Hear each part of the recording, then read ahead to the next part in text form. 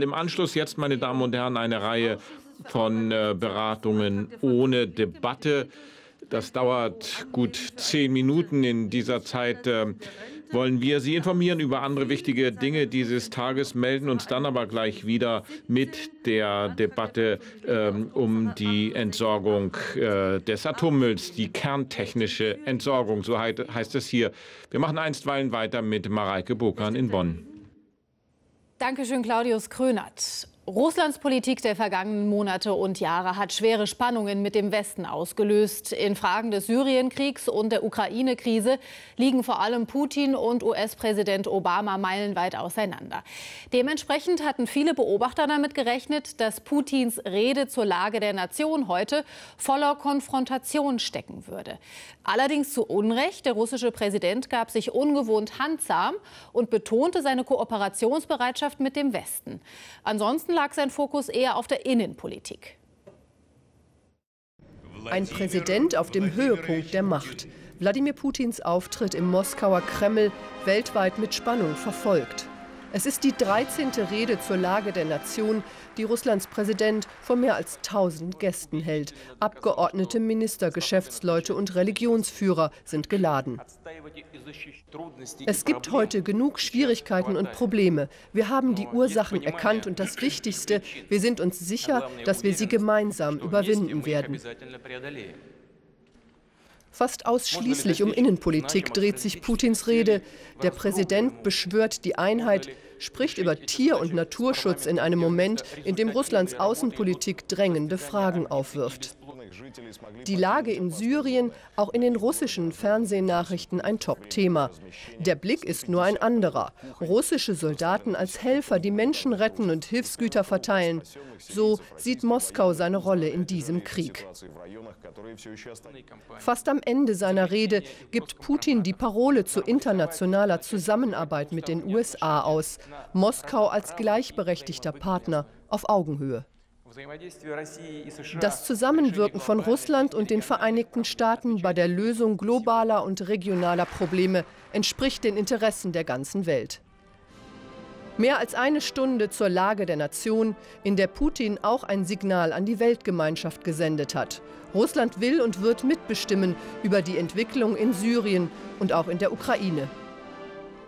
Russland sucht Freunde in der Welt. Das ist einer der interessantesten Sätze aus der Rede zur Lage der Nation von Wladimir Putin. Diese Rede drehte sich in erster Linie um das Thema Innenpolitik.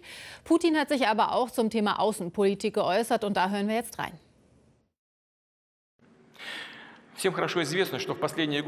Es ist allen gut bekannt, dass in den letzten Jahren wir mit Versuchen konfrontiert waren des äußeren Druckes. Ich habe mich schon mehrfach äh, darüber geäußert. Es wurden alle möglichen Müffen in Gang gesetzt über russische Aggression, Propaganda, bis hin zu Einmischung in die fremden Wahlen, bis hin zur Hetze gegen unsere Sportler, selbst der Paralympiker. Und es gibt kein Unglück ohne Glück. Dieser sogenannte Doping-Skandal wird uns erlauben, das Fortschritt fortschrittlichste Systems zur Bekämpfung dieses Übels zu schaffen. Ich gehe davon aus, dass das nationale Programm zur Bekämpfung des Dopings bereits Anfang des nächsten Jahres sein wird. Also solche bestellten Informationskampagnen, solche verschiedene falsche Be Beschuldigungen, diese Belehrungen, das haben wir schon eigentlich äh, genug. Wenn es nötig sein wird, dann können wir auch die anderen belehren. Aber wir verstehen unsere Verantwortlichkeit und wir sind aufrichtig bereit, bei der Lösung der internationalen und regionalen Probleme uns zu beteiligen. Selbstverständlich dort, wo unsere Beteiligung notwendig ist und gefragt wird. Wir wollen keine Konfrontation. Wir brauchen keine solche Konfrontation. Auch unsere Partner brauchen sie nicht. Und die Weltgemeinschaft nicht. Im Unterschied zu manchen ausländischen Kollegen, die in Russland einen Gegner sehen, haben wir niemals Feinde gesucht. Wir brauchen Freunde.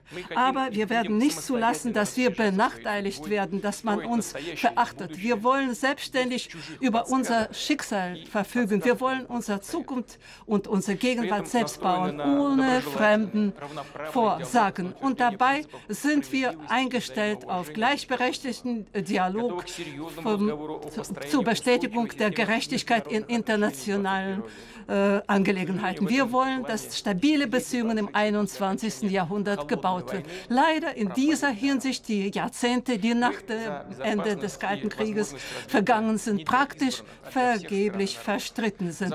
Wir sind dafür, dass die Entwicklung nicht gewählt ist, sondern alle da ist. Wir sind für die, den Respekt gegen das Völkerrecht und wir sind gegen jegliche Monopole und äh, Ausschließlichkeiten und wir sind gegen Versuche, für sich äh, bestimmte wirtschaftliche Vorteile zu schaffen, die Zensur einzuführen und äh, unser Raum äh, zu beschränken. Man wirft uns vor, dass wir Zensur in, in, innerhalb des Landes einführen und jetzt üben sie sich selbst darin.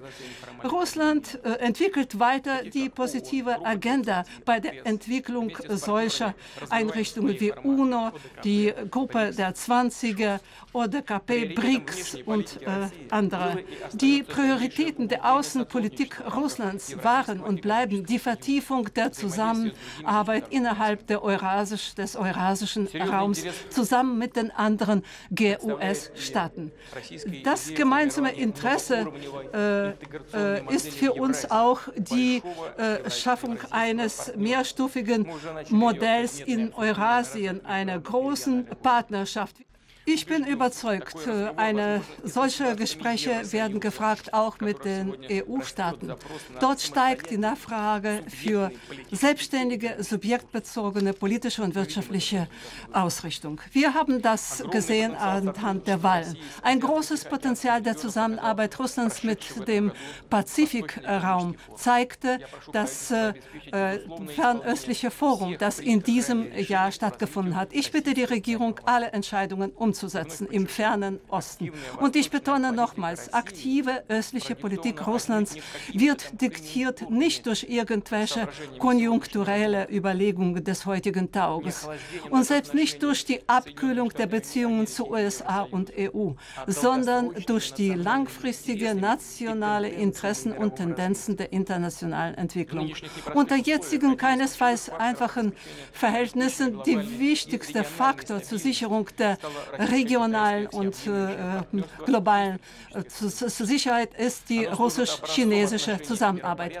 Es gilt als Vorbild einer Weltordnung, das gebaut ist nicht auf der Grundlage der Dominanz einer der Seiten, sondern auf der harmonischen Berücksichtigung der Interessen beider Seiten. Zurzeit wird China zur Wirtschaftsweltstaat. Äh, und äh, das ist wichtig, dass unsere gegenseitige Kooperation wird ergänzt durch viele umfangreiche Projekte in vielen Bereichen im Handel, Investitionen, Hightech. Wichtige, die wichtige Ausrichtung der Außenpolitik ist die besonders privilegierte Zusammenarbeit mit Indien. Infolge der im November stattgefundenen Verhandlungen auf der höchsten Ebene bestätigten, dass unsere Staaten über ein gewaltiges Potenzial bei der Vertiefung der Zusammenarbeit in verschiedenen Bereichen haben. Wir hoffen, dass wir auch Beziehungen äh, entwickeln werden mit unserem östlichen Nachbarn Japan. Und wir begrüßen die Bestrebungen der Regierung dieses Landes, die wirtschaftlichen Beziehungen mit Russland zu entwickeln. Wir sind bereit, auch mit der neuen Administration der USA zusammenzuarbeiten. Wir, es ist wichtig, die bilateralen Beziehungen auf der gegenseitigen und äh, gegenseitig vorteilhaften Grundlage zu machen. Die Zusammenarbeit mit äh, USA und Russland entspricht den Interessen der ganzen Welt. Wir haben die gleichen Interessen bei der Sicherung der Sicherheit und äh, äh bei der, äh, ich möchte sagen, Versuche, strategische Parität zu brechen, sind äußerst gefährlich und können zu globalen Katastrophen führen. Das dürfen wir für keine Sekunde vergessen. Und natürlich rechnen wir, dass wir die äh, Verbindungen mit USA stärken bei der Bekämpfung einer realen Gefahr und keine erdachten eben Bekämpfung des Terrorismus. Diese Aufgabe lösen unsere Militärs in Syrien. Da, den Terroristen wurde ein entsetzlicher Schlag versetzt. Die Armee und Flotte äh, Russlands haben bewiesen, dass sie in der Lage sind, weit entfernt von den ständigen Dislozierungsorten effektiv tätig zu werden. Übrigens, wir sehen, welche Arbeit auch die Mitarbeiter der Sondereinheiten auch innerhalb des Landes bei der Bekämpfung des Terrorismus führen. Wir haben dort auch Verluste. Das, das beachten wir natürlich und wir werden diese Arbeit weiter fortführen. Ich möchte mich bei allen unseren Soldaten bedanken für Professionalismus, Edelmut, für Mut und äh, auch äh, dafür, dass Sie, Soldaten Russlands, ihre Würde verteidigen und die Ehre und Würde Russlands schätzen. Sehr geehrte Kollegen, wenn das Volk sich im Recht fühlt, wenn das Volk geschlossen handelt, dann marschiert es sicher den Weg. Die letzten Jahre hatten wir es nicht leicht, aber diese Prüfungen haben uns noch stärker gemacht. In der Tat, noch stärker. Die haben uns geholfen, noch besser die Ausrichtungen festzulegen, wo wir noch hartnäckiger arbeiten müssen. Indem wir die laufenden Schwierigkeiten überwinden, haben wir die Basis geschaffen für die Weiterentwicklung. Wir haben die Agenda der Entwicklung weiter auch äh, entwickelt. Das heißt, wir haben uns nicht in Kleinkram des Alltags vertieft. Wir haben uns nicht allein mit den Problemen des Überlebens beschäftigt, sondern wir haben die Agenda äh, der Entwicklung äh, bearbeitet und jetzt ist diese Agenda an der ersten Stelle. Und die Zukunft unseres Landes hängt nur von uns, vom Talent und von der äh, äh, Fleiß unserer Bürger. Und wir werden unsere Aufgaben schaffen. Wir werden die Aufgaben von heute und von morgen ganz sicherlich gut bewältigen. Ich danke Ihnen.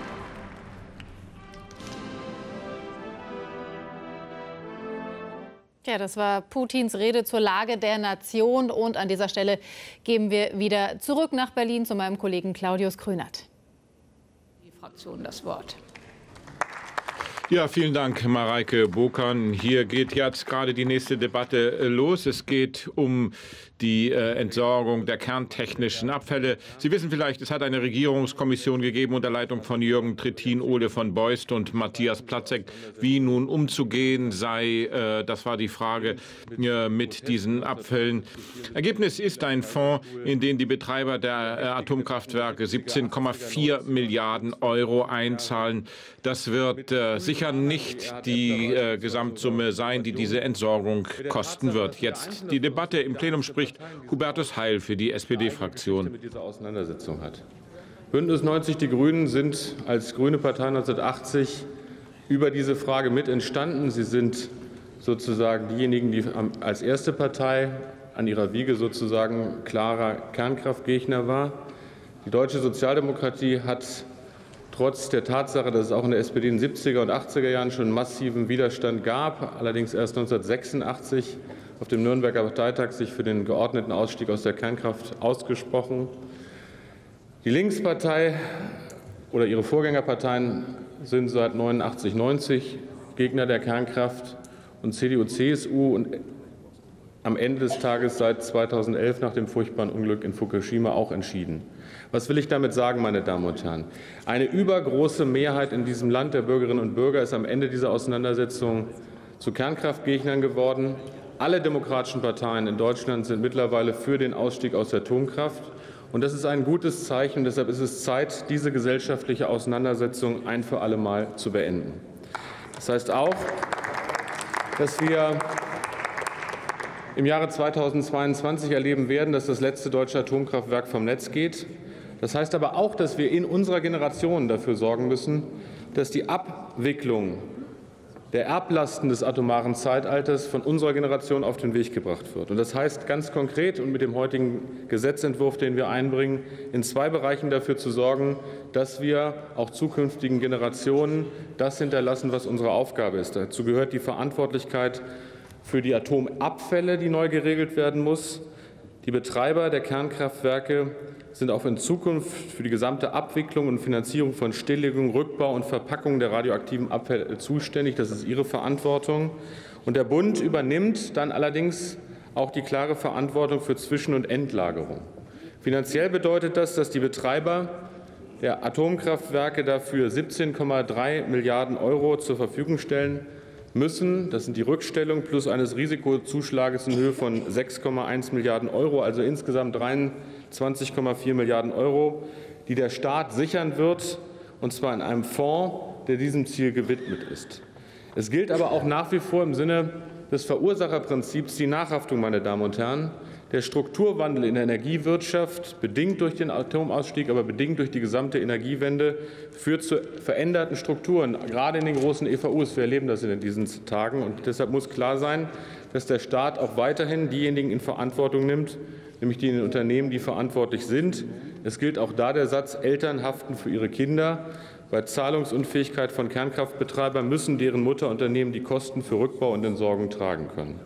Der Gesetzentwurf, meine Damen und Herren, den wir heute in erster Lesung nicht nur als Regierungsentwurf, sondern dafür bin ich sehr dankbar, dass das möglich war, als gemeinsamen Fraktionsentwurf von CDU, CSU, SPD und Bündnis 90 Die Grünen vorliegen, ist Basis, hat eine Basis in einer Kommission, die gründlich und kompetent und wie ich finde sehr umsichtig mit unterschiedlichsten persönlichen Historien und Interessen dafür gesorgt hat, dass jetzt Vorschläge vorliegen, die wir in Gesetzesform umsetzen können. Und ich möchte für die Arbeit dieser Kommission einmal ganz herzlich danken. Da waren viele daran beteiligt, auch viele Kolleginnen und Kollegen der Fraktionen dieses Hauses, kompetente Partner aus Wirtschaft, Wissenschaft und Gewerkschaften. Aber namentlich möchte ich denjenigen danken, die diese Kommission geleitet haben. Das ist Ole von Beust, das ist Matthias Platzig und es ist nicht zuletzt Jürgen Trittin die dazu geführt haben, dass es ein einstimmiges Votum gegeben haben, auf deren Basis wir jetzt diesen Gesetzentwurf machen können. Ich möchte den Kollegen Trittin persönlich ansprechen und ihm herzlich danken, weil er, wie finde ich, wenige andere in seinem Leben einen Beitrag dazu geleistet hat, diese gesellschaftliche Auseinandersetzung nicht nur heftig zu führen, sondern auch zu einem guten Ende zu führen. Das hat er getan als zuständiger Minister für Umwelt und Reaktorsicherheit in der Regierungszeit von Gerd Schröder, als gemeinsam Gerd Schröder, Jürgen Trittin und Werner Müller mit den Energieversorgungsunternehmen den geordneten Ausstieg aus der Atomkraft im Jahre 2000 schon mal vereinbart hatten. Das hat er getan in Oppositionszeiten, und das tut er auch in der Zusammenarbeit dieser Kommission seiner parlamentarischen Arbeit. Also Jürgen Trittin, ich hoffe, ich schade dir nicht zu sehr in deiner Fraktion, indem ich mal ganz herzlich Danke sagen für das, was du jetzt getan hast und was du auch in der Vergangenheit getan hast. Das Ergebnis dieser KfK ist eine wirklich gute Grundlage für den heutigen Gesetzentwurf. Ich gebe aber zu, es wird noch heftige Arbeit vor uns liegen in kürzerer Zeit. Wir wollen unverzüglich also ohne schadhaftes Verzögern, aber auch gründlich dafür sorgen, dass das ein guter Gesetzentwurf ist. Wir werden deshalb das, was vorliegt, noch mal diskutieren müssen an der einen oder anderen Stelle. Und ich sage eins ist mir ganz wichtig. Wenn es notwendig ist, dieses Gesetz zu machen, und wenn dazu es notwendig ist, einen öffentlich-rechtlichen Vertrag zwischen den EVUs und dem Staat zu schließen, damit die Rechtsfolgen auch alle bedacht sind, dann habe ich eine klare Erwartungshaltung an die Energieversorgungsunternehmen in Deutschland, meine Damen und Herren nämlich die Klagen, die gegen den Staat gerichtet sind, im Zuge des Atomausstieges zurückzunehmen. Wenn wir diese Risiken Wenn wir diese Risiken, wie gesagt, nicht im Sinne einer Staatsbeihilfe, denn das darf es nicht sein, auch nach EU-Recht, sondern im Sinne von Verantwortungssicherung in diese Form überführen, die ich eben beschrieben habe, dann muss klar sein, dass alle den Krieg um die Atomkraft beenden müssen, auch diejenigen, die ihn verloren haben. Und das heißt, da darf es kein Nachtreten geben. Und deshalb muss dafür gesagt werden, dass wir nicht nur gesellschaftlichen, sondern Rechtsfrieden haben. Meine Damen und Herren, wir brauchen genug Kraft, um nach vorne zu schauen, gemeinsam, um die Energiewende zum Erfolg zu führen. Und wir dürfen nicht in Schlachten der Vergangenheit stecken bleiben. Gesellschaftliche Auseinandersetzungen sind verantwortungsvoll zu beenden, gerade in diesen Zeiten. Wir müssen in Deutschland nach vorne gucken, das atomare Zeitalter hinter uns lassen und jetzt mit diesem Gesetz einen Beitrag dazu zu leisten, dass diese Finanzierung eben auch möglich ist. Herzlichen Dank für die Aufmerksamkeit. Hubertus Heil war das stellvertretender Vorsitzender der SPD-Fraktion, der hier zum einen äh, Jürgen Trittin von den Grünen persönlich gedankt hat für seinen Einsatz und zum anderen die Energieversorger aufgefordert hat, äh, ihre Klagen gegen den Staat wegen des Atomausstieges zurückzuziehen.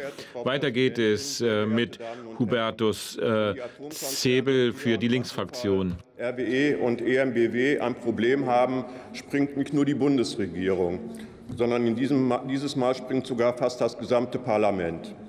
Was unter dem verharmlosenden Titel einer Neuordnung der Atommüllentsorgung beschlossen werden soll, hat offensichtlich nur einen Grund. Den Atomkonzernen soll ein richtig großes, fettes Weihnachtsgeschenk unter die Tannenbäume gelegt werden. Die Verantwortung für den Rückbau der Atommeiler soll zwar bei den Konzernen bleiben, aber gegen eine Einmalzahlung von etwas über 23 Milliarden Euro, mein Vorredner hat gerade darauf hingewiesen, sollen die Atombarone von sämtlicher Verantwortung für ihren Atommüll befreit werden. Sie hatten die Gewinne, für die Bürger bleiben die Atommüllberge und die Kosten. Seit vorgestern liegt der Gesetzentwurf von CDU, CSU, SPD und Grünen vor. Heute findet die erste Lesung dieses äußerst komplexen Artikelgesetzes im Plenum statt. Morgen ist die Anhörung mit den Experten, die den Entwurf bestenfalls überfliegen konnten. Und schon in der nächsten Sitzungswoche wollen sie dieses kostspielige Artikelgesetz verabschieden. Die ganz große Mehrheit des Parlaments erklärt sich selbst zur Farce und zur bloßen Abnickmaschine. Das ist erschreckend. CDU, CSU und SPD und unter Trittin als Umweltminister auch die Grünen hatten Jahrzehnte, um die Probleme bei der Finanzierung der Atommülllagerung zu regeln. Das haben sie verpennt. Heute sagen Sie, wir werden es gleich sicherlich noch hören, man müsse ja jetzt handeln, weil man einem nackten Mann, den Konzernen, nicht in die Tasche greifen könne. Beziehungsweise, wenn man jetzt nichts tue, wäre das Geld weg. Unglaublich, was hier abgezogen wird. Die Konzerne stecken sicher in einer äh, Strukturkrise, aber sie sind potent genug und haben genügend Substanz und es gibt keinen vernünftigen Grund, um sie aus der Nachschusspflicht und ihrer Verantwortung für die Kostenrisiken für die Atommülllagerung zu befreien. Jahrzehntelang galt als Versprechen, die Atomkonzerne zahlen die Atomzeche auch für die Atommülllagerung und den Rückbau der Meiler. Dieses Versprechen wird nun, wie so viele in der miesen Geschichte der Atomenergienutzung, gebrochen. Erneut zum Schaden und auf Kosten der Bürgerinnen und Bürger. Erschreckend, dass es hierfür einen Schulterschluss der Großen Koalition mit den Grünen gibt. Sie wetten auf die Zukunft und setzen das Verursacherprinzip außer Kraft. Die dem Gesetzentwurf zugrunde liegende Kostenschätzung ist auf Sand gebaut. Nach allen Erfahrungen werden die Kosten der Entsorgung steigen. Das zeigt zum Beispiel auch die Asse jetzt ganz aktuell im Übrigen. Das wissen Sie auch alle hier. Auch der Bundesrat hat sich in der letzten Woche klar geäußert. Ich habe sehr genau zugehört, was insbesondere die grünen Minister dort vorgetragen haben. Die Länder wollen nicht auf den Mehrkosten sitzen bleiben und fordern, im Gesetz klipp und klar zu regeln, dass der Bund die Kostenverantwortung ohne Wenn und Aber übernimmt. Das ist ja schon mal eine sehr deutliche Aussage. Und ob die äh, prognostizierte langfristige vierprozentige Verzinsung der in den Fonds einzuzahlenden 23 Milliarden Euro tatsächlich eintritt, weiß niemand zum jetzigen Zeitpunkt. Dabei geht es allerdings auch nicht nur um Peanuts, sondern um riesige Beträge in zweistelliger Milliardenhöhe. Es kann also richtig dicke für die Steuerzahlerinnen und für die Steuerzahler kommen. Eine Nachschusspflicht der AKW-Betreiber oder die Pflicht, Rücklagen zu bilden, das wäre eine Alternative dazu. Wir reden ja bisher immer nur über diese vermaledeiten Rückstellungen, nicht über Rücklagen. Diese Pflicht besteht nicht. Die ist auch nicht vorgesehen im Gesetz.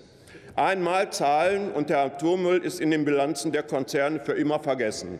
Dazu kommt ja noch, dass auch die Brennelementesteuer jetzt ausläuft, wodurch die Konzerne noch mal zusätzlich entlastet werden sollen. Was mit der Trittin-Kommission anfing, wird hier fortgesetzt. Es ist unglaublich dreist und skandalös, wie eine ganz große Koalition sehenden Auges das nächste Milliardengeschenk für die Stromkonzerne vorbereitet. Seien Sie gewiss, mit uns ist eine Verlagerung der Kosten für den Atommüll auf die Bürgerinnen und Bürger nicht zu machen. Herzlichen Dank für Ihre Aufmerksamkeit. Die Kritik von Hubertus Zebel an, diesem, an dieser Kommission und ihrer Arbeit und ihrem Kompromiss mit der Industrie. Er hat den Widerstand seiner Fraktion angekündigt. Weiter geht es jetzt mit Michael Fuchs, dem stellvertretenden Vorsitzenden der CDU-CSU-Fraktion. Liebe Kollegen, liebe Kolleginnen, wir haben vor etwas über einem Jahr mit der Kommission begonnen zur Überprüfung der Finanzierung des Kernenergieausstiegs. Und wir haben sehr intensiv zusammengearbeitet. Als ich das erste Mal die Liste der 19 Kommissionsteilnehmer gesehen habe, war mein Gedanke, das wird ja eine muntere gruppendynamische Übung. Äh, wenn ich gesehen habe, dass da der Präsident des BDI neben der Direktorin des WWF saß oder dass da 30 Jahre Kernenergiegeschichte, namentlich mir gegenüber sitzend, äh, in Deutschland in einem Raum pro und contra saßen, dass da Schreckgespenster der Kernenergiegegner, aber auch genauso Schreckgespenster der Kernenergiebefürworter waren. Und wir hatten, und das war wahrscheinlich gut so, einen leibhaftigen Bischof bei uns. Der hat am Ende dafür gesorgt, dass wir himmlischen Beistand hatten und es deswegen möglich war, dass diese Kommission zu einem einvernehmlichen, einheitlichen Konzept gekommen ist, was wir einheitlich beschlossen, und zwar einstimmig beschlossen haben. Entscheidend war, wir haben in der Kommissionsarbeit eben nicht die Schlachten der Vergangenheit geschlagen, wir haben Ideologie außen vor gelassen, und das war auch richtig so. Uns ging es um eine sichere, und Hubertus Heil hat das gesagt, zukunftsfeste Lösung, die vor allen Dingen dem Verursacherprinzip Rechnung trägt und die eine Vielzahl von Streitereien im Bereich der Kernenergie rechtlich und politisch befrieden und beenden soll. Alles in allem glaube ich, die Kommission hat eine vernünftige Arbeit abgeliefert. Und mein Dank geht daher an die Mitglieder der Kommission, vorrangig aber auch an die drei, Hubertus Heil hat sie eben schon erwähnt, Vorsitzenden Ole von Beust, Matthias Platzek und Jürgen Trittin. Lieber Herr Trittin, ich bin mir nicht so hundertprozentig sicher, ob das, ich habe auch eigentlich nie für möglich gehalten, dass ich in diesem Hause mal einen Grünen lobe. Aber ähm, wenn es Ihnen schadet, ist es ja gut so. Äh, deswegen, deswegen ein herzliches Dankeschön besonders an Sie. Ähm, ich muss ehrlich zugeben, ich hätte mir am Anfang der Kommissionsarbeit ähm, eine so vernünftige Arbeit zusammen nicht vorstellen können. Klar ist aber auch, die Kommissionsarbeit war nur das Vorspiel. Das Entscheidende kommt eben jetzt, und wir beginnen damit heute. Der Gesetzentwurf der Bundesregierung ist eine ordentliche Grundlage. Er zeichnet wesentliche Weichenstellungen der Kommissionsarbeit nach. Und auf dem Gebiet können wir oder mit diesem Gesetzentwurf können wir weiterarbeiten. Erstens, die Betreiber der Kernkraftwerke bleiben für die Stilllegung und den sicheren Rückbau zu 100 Prozent zuständig und verantwortlich und natürlich auch in der Zahlungsverpflichtung. Zweitens. Für die Zwischen- und Endlagerung übertragen die Energieversorger die Finanzmittel auf einen Fonds beim Bundesfinanzminister. Grundlage sind rund 17,4 Milliarden Euro, die die Energieversorger hierfür zurückgestellt haben, die man ja auch in den Bilanzen sehen kann. Und die Kommissionsarbeit hat gezeigt, dass diese Rückstellungen, und das sollte die Linke zumindest wahrnehmen, auch im internationalen Vergleich eher konservativ gerechnet sind als denn zu hoch. Hinzu kommt ein Risikozuschlag, den wir gemeinsam errechnet haben mit rund 6 Milliarden Euro. Das sind immerhin noch mal 35 Prozent obendrauf. Am Ende also ein Gesamtbetrag von annähernd 23,5 Milliarden, die auch von unabhängigen Gutachtern der Bundesregierung als sachgerecht bestätigt wurden. Im Umkehrzug werden die Energieversorger nach Zahlung dieses Betrages von einer Nachschusspflicht befreit. Dieser Ansatz ist für mich sachgerecht. Er hat das Verursacherprinzip strikt umgesetzt und er hat dafür gesorgt, dass die Mittel für Zwischen- und Endlagerung in Zukunft nicht mehr bei den Unternehmen sind, sondern beim Staat. Umgekehrt gewinnen die Energieversorger dann aber auch Planungssicherheit und auch wieder ein Stück weit Bilanzsicherheit, was meiner Meinung nach dringend notwendig ist. Denn in der letzten Zeit kann man wahrlich nicht behaupten, dass es denen gut geht. Man gucke sich einfach nur die Verlustbilanzen an. Am wichtigsten ist für mich aber die dritte zentrale Weichenstellung der KfK-Empfehlung. Die operative und finanzielle Verantwortung für die Zwischen- und Endlagerung wird zukünftig beim Bund zusammengeführt, und zwar für den schwach-, mittel- und auch hochradioaktiven Abfall. Das heißt aber auch, der Staat hat es in Zukunft allein in der Hand, mit den Geldern für die Zwischen- und Endlagerung effizient zu wirtschaften. Und es gibt jetzt auch keine Ausreden mehr. Das muss schnell gemacht werden. Wie geht es zum Beispiel schnell? In Finnland kann man das nachsehen. Vor zwei Tagen hat in Finnland der Bau eines Endlagers begonnen. Äh, Olkiluoto heißt das im Südwesten Finnlands. Und gebe ich zu, dass Finnland etwas weniger besiedelt ist als Deutschland. Aber man hat vor, bis 2023 dieses Endlager so weit zu haben, dass es beschickt werden kann, dass die äh, Abfälle dort eingelagert werden können. Und das ist auch der richtige Weg. Wir haben ein Budget von 23,5 Milliarden Euro, was ab dem Frühjahr dieses Jahres dem BMF zur Verfügung steht. Damit muss gehaushaltet werden, und das ist im Interesse des Steuerzahlers. dass bei einem vernünftigen Verfahren es möglich ist, innerhalb von einem absehbaren Zeitraum ein Endlager zu finden, ist klar. Wir dürfen aber dann jetzt auch keine Endlosdiskussion in diesem Hohen Hause beginnen, wo wir permanent darüber nachdenken, ob wir nicht hier und dort und überall noch ein Bohrloch machen. Es kann nicht sein, dass wir jetzt von Gorleben in den Bayerischen Wald, vom Bayerischen Wald in den Schwarzwald, vom Schwarzwald in den Hunsrück und dann von mir aus noch irgendwo in der Heide ein weiteres Loch bohren. Nein, wir müssen uns irgendwann mal entscheiden, und das muss auch politisch durchgesetzt werden. Und das muss dieses Hohe Haus auch verantworten dann werden wir mit diesen Summen mit Sicherheit hinkommen, denn äh, anders werden wir das nicht geregelt bekommen. Wichtig ist auch, dass wir für den schwach- und mittelradioaktiven Abfall endlich den Knoten bei, der, bei Schacht Konrad durchhauen müssen. Denn hieran hängt ja auch ein Stück weit der Rückbau der Kernkraftwerke. Ich halte es für notwendig, dass wir dort vorankommen.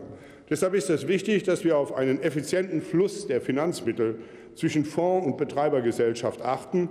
Und es ist genauso wichtig, dass der effiziente Mitteleinsatz ständig überwacht wird. Wir haben eine Kommission gebildet, die dieses tun wird. Ich gehe mal davon aus, dass wir das in großer Verantwortung gemeinsam tun werden. Wichtig ist mir auch, dass wir die Sicherheit nach dem international festgelegten Trennungsprinzip im Euratom-Vertrag zwischen atomrechtlicher Aufsicht und Betrieb klar trennen und sauber dieser Frage Rechnung tragen. Sicherheitsfragen dürfen mit nichts vermischt werden. Die richtigen Strukturen und Vorkehrungen hierfür zu schaffen, das ist unsere Aufgabe im parlamentarischen Verfahren.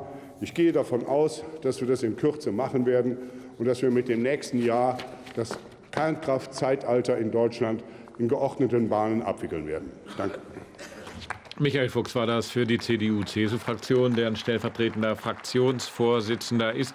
Er hat alles in allem die Ergebnisse der Kommission hier begrüßt und angemahnt, die Republik müsse sich nun konsequent auf die Suche nach einem Endlager machen. Weiter geht es jetzt mit Jürgen Trittin, Bündnis 90, die Grünen. Er ist schon mehrfach in dieser Debatte angesprochen worden. heißt das Atomgesetz Gesetz zur geordneten Beendigung der Atomenergie und seit 2011 haben wir hierüber einen Konsens.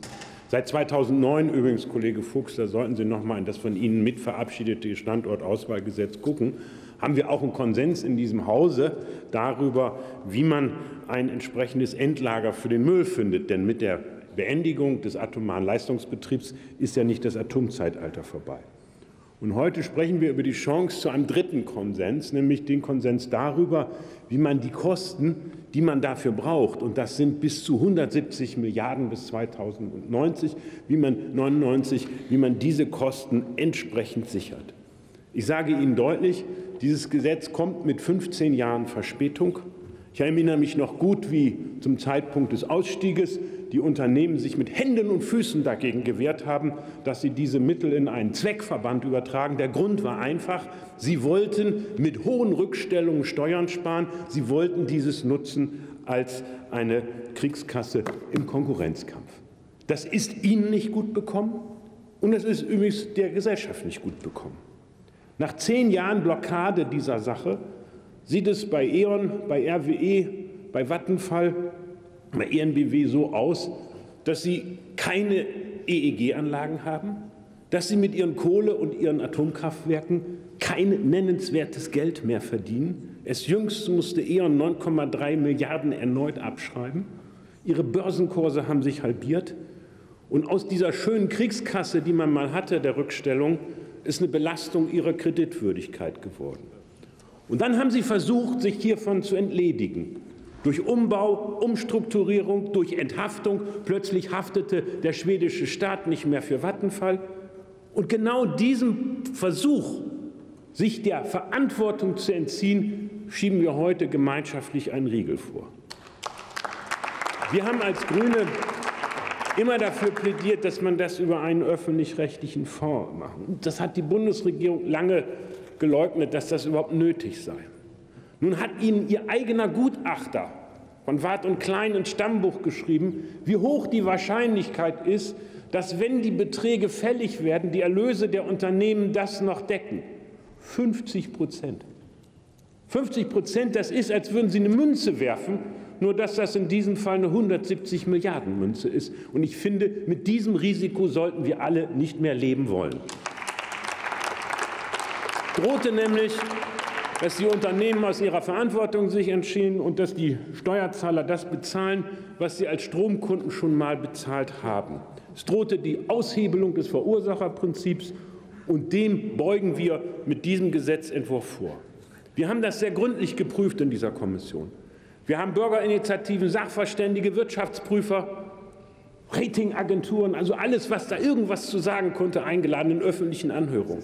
Das Ergebnis ist, die Höhe der heutigen Rückstellung sind international vergleichbar, eher am oberen Rand, und sie sind so das Ergebnis der Kommission angemessen, um die Kosten von insgesamt 170 Milliarden am Ende zu sichern. Das Problem ist nicht die Höhe. Das Problem, vor dem wir stehen, ist, dass diese Mittel nicht mehr sicher sind. Und darum geht es. Und deswegen schlagen wir vor, CDU, CSU, BDI, DGB, WWF, all die dort vertreten waren, dass künftig wie folgt verfahren wird. Die Unternehmen müssen bis 2040 60 Milliarden aufbringen, um rückzubauen und zu verpacken. Dafür müssen sie künftig ihre Rückstellung mit Aktiva unterlegen, und das wird von der Bundesregierung unter Kontrolle des Bundestages kontrolliert. Und sie müssen unverzüglich anfangen mit dem Rückbau. Und das andere, sie müssen die Mittel für die Zwischen- und Endlagerung in einen öffentlich-rechtlichen Fonds überführen. Das sind die 17 Milliarden. Und Sie müssen, wenn Sie sich enthaften wollen, noch mal über 6 Milliarden oben drauflegen auf einen Risikozuschlag, den Sie bisher nicht hatten. Ein schönes Weihnachtsgeschenk übrigens, wenn ich mal eben 23 Milliarden, die ich bisher nur in den Büchern stehen hatte, rausreichen würde. Ich habe mir ein Geschenk bisher anders vorgestellt, liebe Kollegen von der Linken. Und wir haben erwartet, dass die Unternehmen alle Klagen, die sich auf die Entsorgung beziehen, fallen lassen. Ich finde, dass damit das Verursacherprinzip sehr viel besser gesichert ist. Wir schaffen mehr Sicherheit, wir müssen nicht mehr bangen oder wie die Linkspartei hoffen, dass die Konzerne bis 2099 nicht pleite gehen und nicht irgendwelchen Hedgefonds verkauft werden. Und wir hätten dann tatsächlich so etwas wie einen neuen Konsens. Ich will aber eins zum Abschluss in aller Deutlichkeit sagen.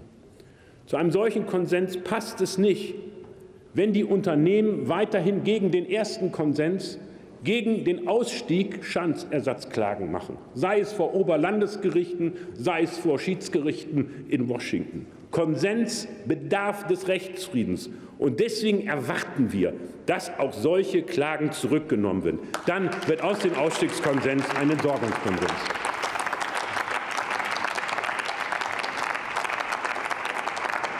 Jürgen Trittin, Bündnis 90, die Grünen, der hier die äh, Ergebnisse der Regierungskommission noch einmal erläutert hat. Auch er erwartet eine Rücknahme der Klagen der Energieversorger. Nina Scheer für die SPD-Fraktion ist die nächste Rednerin. Ich anfangen noch mal mit der Frage, ähm, wie wir überhaupt zu dieser Situation kommen konnten. Und man muss ja konstatieren, dass im Grunde genommen diese Fragen, die wir jetzt klären, schon zu Beginn der Atomenergienutzung hätten geklärt werden müssen. Man hätte eigentlich die Betriebsgenehmigung für Atomkraftwerke gar nicht erteilen dürfen, wenn genau die Dinge, die wir jetzt Jahrzehnte später klären, ähm, damals schon geklärt worden wären. Man hätte eine Verpflichtung damit formuliert, die wahrscheinlich verhindert hätte, dass wir je Atomenergie genutzt hätten. Ich will damit sagen, es wurde damals unterlassen, und das war eine politische Entscheidung, es zu unterlassen. Und genau dieses lässt sich über Jahrzehnte nicht mehr zurückschrauben. Und genau darin liegt auch jetzt die politische Verantwortung, das noch an Möglichkeiten zu retten, was aus politischen Entscheidungen heraus an Vermögenssicherung stattfinden kann, um eben zu vermeiden, das, was auch gerade eben schon geschildert wurde, dass eben Geld verloren geht für die Nachsorge, für die ganze Abwicklung der Atomenergienutzung und die Endlagerung. Insofern denke ich, ist es ein überfälliges ein überfälliger Prozess, der jetzt eingeleitet wird, der, ähm, wie gesagt, überfällig ist und ähm, insofern jetzt eingeleitet werden muss. Und diese Zäsur, die mit diesem Gesetzentwurf nun gemacht wird, hat natürlich im starken Maße den, das Verursacherprinzip zu berücksichtigen. Das Verursacherprinzip ähm, sagt, Könnten Sie mal dafür sorgen, dass irgendwie ist das schwierig zu. Herr Kollege, können Sie es leider machen. Das Verursacherprinzip sagt ja im Grunde genommen, dass die Verantwortlichkeit komplett bei, dem, bei den Atomkraftwerksbetreibern liegt. Und natürlich ist das auch die Erwartungshaltung, die in der Öffentlichkeit zu sehr viel Misstrauen führt, wenn es darum geht, dass wir jetzt nun eine Enthaftungsregelung quasi schaffen mit der Fondslösung und den Abwicklungsfragen. Und ich denke, wir müssen in der Öffentlichkeit ganz klar deutlich machen, dass uns das sehr bewusst ist, dass wir hier eine grundsätzliche Verantwortung der Betreiber haben über das Verursacherprinzip, aber gleichwohl auch damit umgehen müssen, dass wenn wir keine Regelung treffen, dass wir möglicherweise eine Gesamtlast beim Steuerzahler haben. Insofern bleibt uns Insofern bleibt uns nichts anderes übrig, als eben diese Lösung so bald wie möglich jetzt äh, zu ähm, gestalten und möglichst auch mit natürlich parlamentarischer Gestaltung. Wir haben der, mit der Kommission eine sehr gute Vorlagearbeit ge, äh, vorliegen. Wir haben eine sehr gute Vorarbeit geleistet bekommen. Und wir müssen jetzt dafür sorgen, dass im parlamentarischen Prozess noch weitere Veränderungen äh, vorgenommen werden. Ich sehe zum Beispiel, das wurde auch schon erwähnt, eine ganz große Aufgabe darin, dass natürlich die Klagen zurückgenommen werden. Äh, es kann nicht sein, dass wir hier verhandeln müssen und es ist eine, ein Verhandlungsbereich notwendig. Im öffentlich-rechtlichen Vertrag müssen die Details geklärt werden. Die können wir gesetzlich nicht regeln, aber die können wir uns an einen Tisch setzen mit den Konzernen, die gleichzeitig die Bundesrepublik Deutschland verklagen. Das geht nicht. Deswegen müssen wir unbedingt zu einer Klagerücknahme kommen.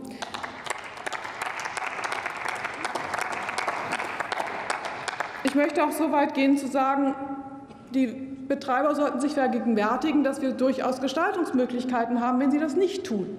Natürlich könnte man darüber nachdenken, ob denn nicht der konsensual gefundene ähm, Vermögens, die konsensual gefundene Vermögensbemessung, ob die noch so stichhaltig ist, wenn im Nachhinein sich die Vermögensmasse noch zulasten des Staates verschieben würde. Das könnte man ja noch machen. Insofern möchte ich auch einen Appell an dieser Stelle an die Konzerne richten, dass sie sich das gut überlegen sollten, ob sie in diesen Prozess hineingehen, ohne die Klagen zurückgenommen zu haben.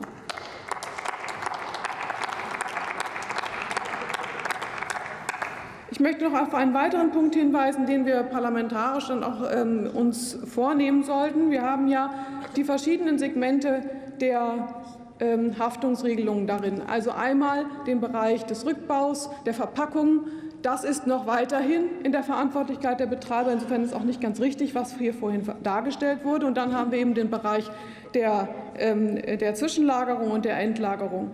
Und wir haben ja mit dem Nachhaftungsgesetz schon im letzten Jahr versucht, das ist übrigens von der Union leider damals blockiert worden, schon den einen Bereich zu regeln, nämlich dass, keine, ähm, kein, dass das Vermögen nicht verloren gehen kann, entweder durch die Insolvenz von Unternehmen oder aber durch Aufspaltung von Unternehmen. Wir haben jetzt einen großen Bereich mit dem vorliegenden Gesetzentwurf schon ähm, äh, damit gesichert, dass eben weder durch Aufspaltung noch durch Pleitegehen von Konzernen Vermögens, äh, ein Vermögensverlust stattfindet. Aber für einen kleinen Teilbereich haben wir es noch nicht geschafft. Das betrifft eben gerade den Rückbau und ähm, die Verpackung. Und genau in diesem Bereich des Risikos wenn hier etwas passiert, da denke ich, sollten wir auch als Parlamentarier noch mal genau hingucken, ob wir da nicht noch Nachbesserungen haben. Die Kommission konnte das nicht aufgegriffen haben in vollem Umfang, weil sie ja noch gearbeitet hat, als auch noch das Nachhaftungsgesetz in Arbeit war, in parlamentarischem Prozess war. Insofern denke ich, müssen wir da an dieser Stelle noch mal ein bisschen genauer hingucken. Als allerletzten kleinen Punkt möchte ich nur noch sagen, dass es mir auch sehr daran gelegen ist, dass man die Mittel, die im Fonds aufgefangen werden, dass man da auch darauf achtet, dass die Geldanlagen, die dort stattfinden, dann bitte schön nachhaltig sind. Die sollten nicht äh, auf verstecktem Weg dann doch wieder zur Finanzierung von irgendwelchen ähm, Kernenergiegewinnungs äh, äh, Dingen landen oder auch anderweitig nicht nachhaltigen Energiegewinnungsmöglichkeiten. Da finde ich, sollten wir auch noch schwer drauf legen, dass dafür eine Regelung getroffen ist. Vielen Dank. Soweit Nina Scheer für die SPD-Fraktion NISTA. Und letzter Redner in dieser Debatte äh, ist jetzt Georg Nüßlein für die CDU-CSU.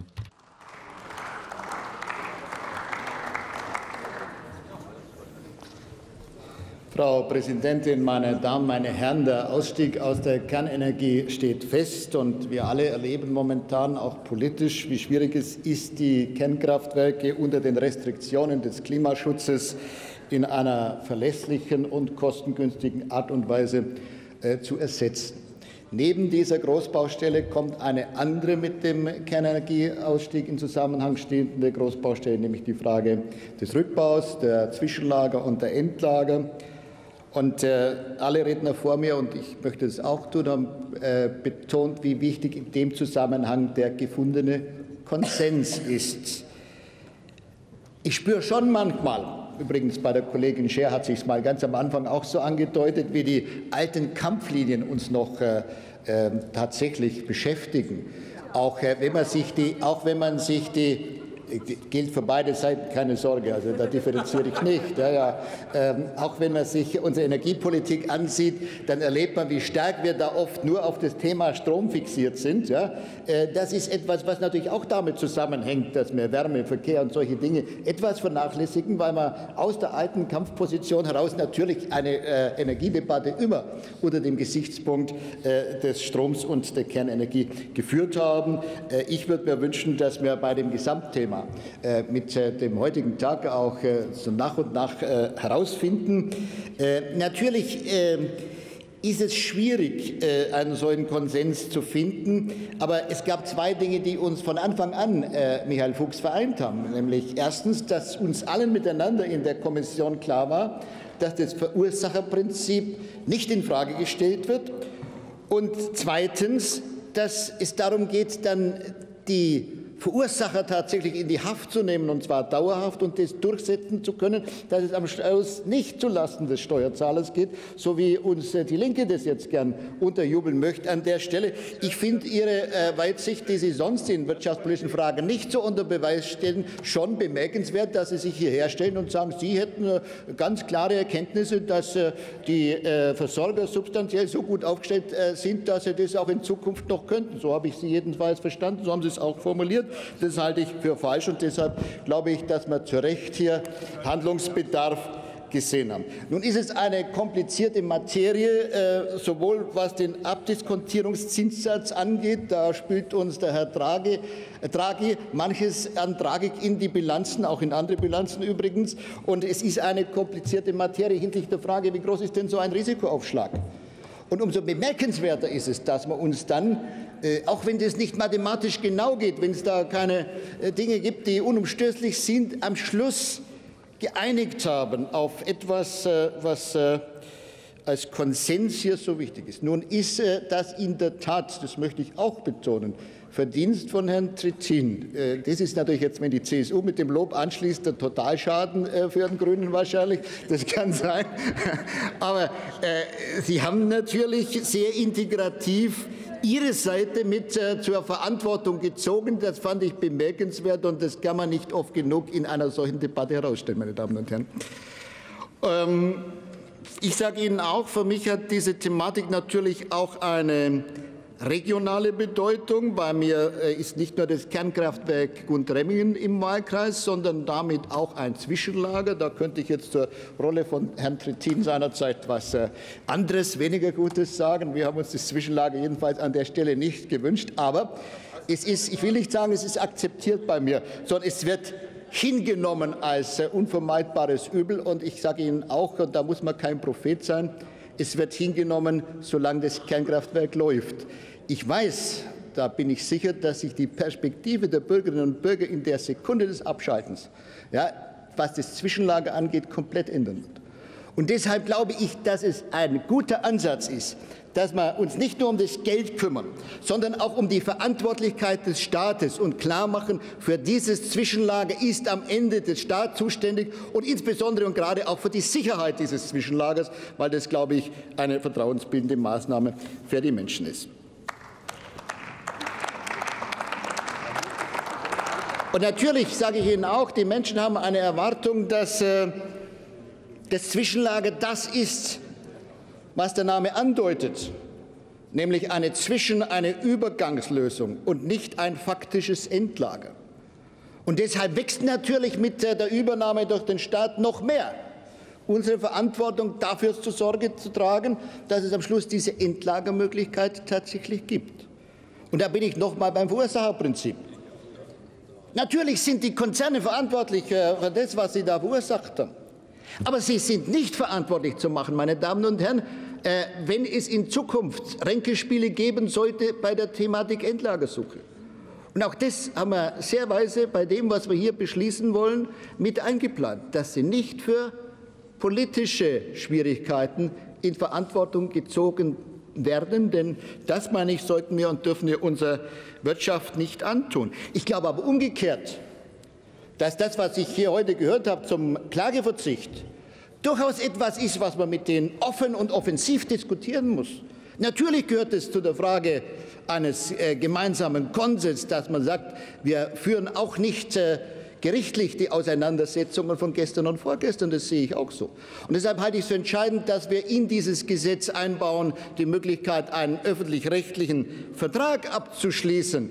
Ganz klar. Und äh, das ist auch deshalb wichtig, weil natürlich sich die Konzernführer nach dem Aktienrecht gar nicht so einfach tun, auf Klagen zu verzichten. Übrigens auch nicht auf Klagen zu einer Gesetzlage, so wie wir sie hier beschließen wollen. Auch da geht es ja um die Frage, wenn wir denen was aufoktroyieren, ist es dann für die möglich, einfach zu sagen, äh, das machen wir nicht und äh, äh, ist es überhaupt ein Ansatz äh, aus der Thematik, aktienrechtlich rauszukommen. Und ich glaube, da ist der öffentlich-rechtliche Vertrag ein entscheidender Ansatz, das äh, noch mal anzugehen. Ob man Ihnen äh, Kollegin Scher, die Anlagestrategie, ob wir die jetzt gemeinschaftlich schon im Gesetz beschließen müssen, äh, was denn äh, das Bundesfinanzministerium mit dem ihnen zuwachsenden Geld tun soll. Mir wäre es wichtig, dass es so intelligent anlegen, dass der Diskontierungszinssatz, dass der tatsächlich auch mit der Realität in Zukunft was zu tun hat. Das ist eine äh, Nummer, die schwer genug ist. Herr Ansonsten Kollege Nüsslein, ich warte, warte verzweifelt auf eine Atempause, weil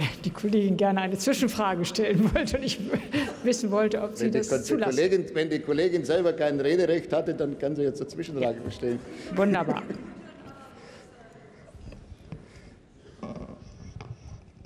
Ich werde schon noch dazu reden, keine Sorge. Ja, ja, das mache ich mir. Aber jetzt, ich wollte Ihnen gern, es ist schon ein bisschen her, der Punkt, dem ich Sie fragen möchte, aber Sie haben ja Ihre Rede noch im Kopf. Sie, Sie hatten vorhin gesagt, man dürfte den Konzernen nicht, äh, sie nicht in die finanzielle Verantwortung nehmen, wenn es um politische Schwierigkeiten bei der Endlagersuche geht. Und da habe ich mir jetzt doch überlegt, was Sie denn für politische Schwierigkeiten bei der Endlagersuche meinen könnten. Und ich möchte Sie fragen, meinen Sie da zum Beispiel, dass das Land Bayern, das ja vorab schon mal erklärt hat, dass bei ihm selber überhaupt nichts in Frage kommt für ein Endlager, sich vielleicht dann weigert, wenn man tatsächlich in diesem Land auch zu Ergebnissen kommt, diese Ergebnisse zu akzeptieren. Ist das in diesem Sinn gemeint, politische Schwierigkeiten? Liebe, liebe Kollegin, die Einschätzung Bayerns fundiert auf einer äh, Würdigung der geologischen Situation, die das aus unserer Sicht an der Stelle unmöglich Aha. macht. Was ich gemeint habe, ist mit politischen Ränkespielen das, was wir bei Gorleben schon einmal erlebt haben, nämlich das Thema, dass es bis zum heutigen Tage nach hohen Investitionen keine technischen Einwendungen gegen Gorleben gibt und unter anderem Sie alles dafür getan haben, um das Thema Gorleben aus der Endlagersuche mhm. komplett rauszuhalten. Das ist, was ich meine, dass das man also nicht ja. nur, weil die einen oder anderen an der Stelle unwillig sind, die Konzerne am Schluss zur Kasse bieten kann. Das, das, das kündigen ist, Sie ja für Bayern ist, schon mal an. Das ist es. Na gut. Warten Sie doch mal ab, ob wir mit unserer geologischen Einschätzung, jetzt warten Sie doch mal ab, ob wir mit unserer geologischen Einschätzung an der Stelle tatsächlich recht haben. Das wird sich weisen, meine Damen und Herren. Im Übrigen ähm, glaube ich, äh, dass äh, wir jetzt immerhin die Hoffnung haben, dass wir äh, dieses Gesamtthema zügig so voranbringen, wie es äh, unserer Verantwortung entspricht, dass wir die Konzerne in der Verantwortung halten und dass wir alles dafür tun, dass äh, keine neuen äh, Kampflinien an der Stelle aufbrechen. Ich wünsche mir auf allen Ebenen an der Stelle Rechtsfrieden. Das würde der Thematik gut tun, denn wie ich einleitend gesagt habe, haben wir genügend andere, äh, andere Linien, andere Schwierigkeiten, wo wir jetzt uns etwas einfallen lassen müssen, wie wir dieses Land klimaschutzgerecht, aber auch so, dass Versorgungssicherheit und Preis passen, mit Strom versorgen. Das wäre unsere eigentliche Aufgabe. In diesem Sinne herzlichen Dank fürs Zuhören. Jörg Nüßlein war das für die CDU-CSU-Fraktion, der letzte Redner in dieser Debatte um die Ergebnisse einer Regierungskommission, die verhandelt hat mit den Energieversorgern in Deutschland, äh, nicht nur um die Abschaltung der Atomkraftwerke, sondern vielmehr um, äh, die, um das Restrisiko, das besteht bei dem Rückbau der Atomkraftwerke und bei dem Atommüll. Alles in allem, wenn man von der Linksfraktion und deren Redner absieht, sind die Ergebnisse der Kommission hier begrüßt worden. Ähm, dieser, dieser Punkt wird jetzt äh, beraten in äh, den Ausschüssen und dann hier wieder hervorgeholt.